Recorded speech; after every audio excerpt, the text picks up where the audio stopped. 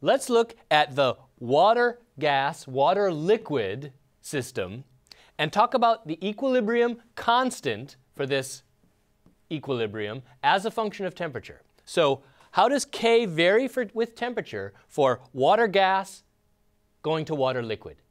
Is it A, B, or C? Think about that for a minute and make a selection.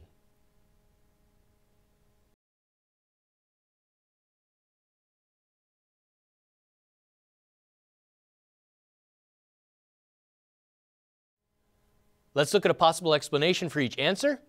A, equilibrium is not a function of temperature, so the line is flat. B, K decreases with temperature because the liquid heats up and expands. Or C, for this reaction, K is the vapor pressure, so it increases with temperature. Think about those three possible explanations and make another selection.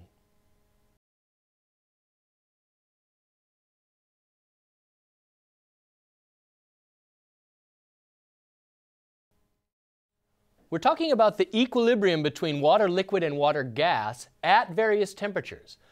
K, the equilibrium constant for chemical reactions and physical processes, varies with temperature. So how does it vary for this reaction? Well, what we're interested in is the equilibrium of liquid water and gaseous water for every temperature.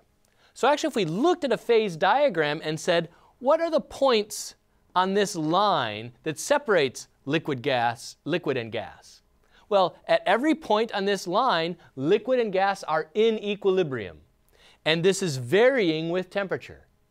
So this line in the phase diagram corresponds to the equilibrium values. These are the values of the equilibrium constant with temperature.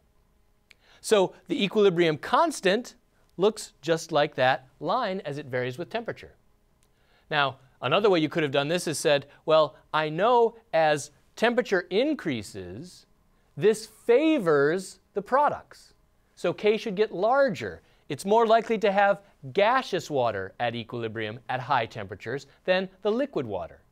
So you could also say, well, K increases with T because I know something about this physical process.